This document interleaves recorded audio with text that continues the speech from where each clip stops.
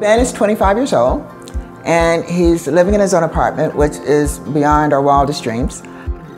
He was diagnosed at age three. When we finally got a diagnosis of autism, it was a relief that, okay, now we know what to call it. Ben was not speaking. Not only was he not speaking, he was not responding to language. So he didn't respond to his name. He didn't respond to common commands like come, stop, stand up. He didn't respond to anything. And that's what was very heartbreaking in the beginning is realizing that he didn't know who he was and he didn't know who we were. No sense of his place in space.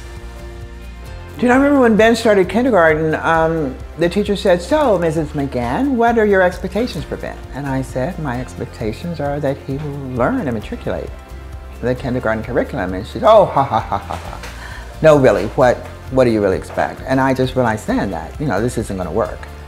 Ben's dad and I agreed that we didn't know where this journey was gonna take us, but we were gonna hit the wall at full speed. We're not gonna give up on this kid. We have the flashcards with sign language because we realized he needed a way to communicate.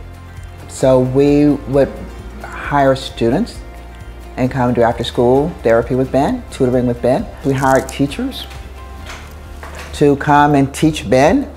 The, the speech grad students are coming in and we're just doing everything we have with this kid.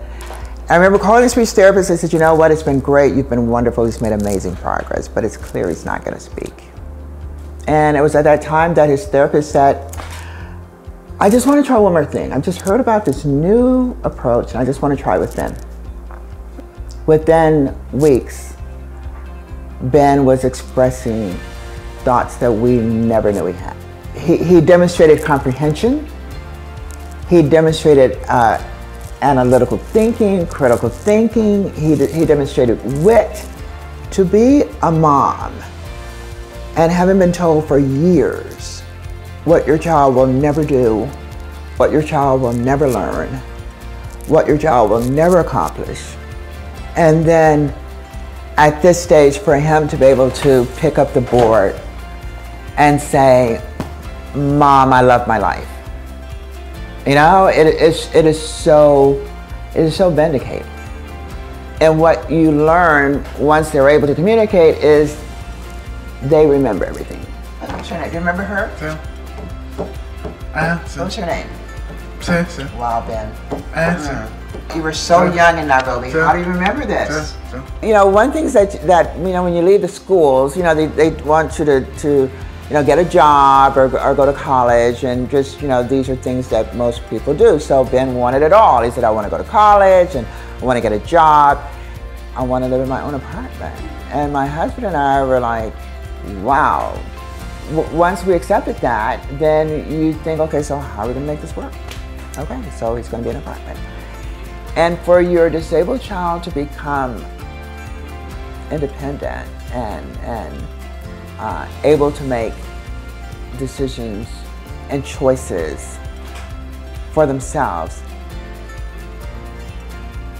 just really, I think, increases your commitment to make certain they can do so safely. And again, that's where SafeinHome comes in. Yeah, I just think that, you know, you always talk about the supports that are needed to help an individual be independent. What are the gaps that you need to fill? You know, we needed to make sure that we address the security issues. Yep. And then we also needed to make sure that we give him the tools that he needs so that he can make the right choices. SafeinHome is, is an important part of Ben's toolbox so that he can make good choices. This isn't the end of the transition. You know, the next stage of the transition is when we're not here to talk with SafeinHome and we're not here to ask that he load the medicine uh, dispenser. And you're hoping that we use this period of time so that he builds the skills that he needs to go forward in his later years. What do you want to say to the audience about people who have autism? Yeah. You've accomplished so Yeah. much. Yeah. What do you want people to know Sim. About what people with autism can do? Sim, sim.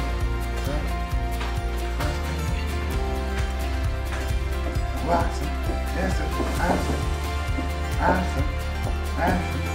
Answer. He says I'm smart. I am not broken, just different.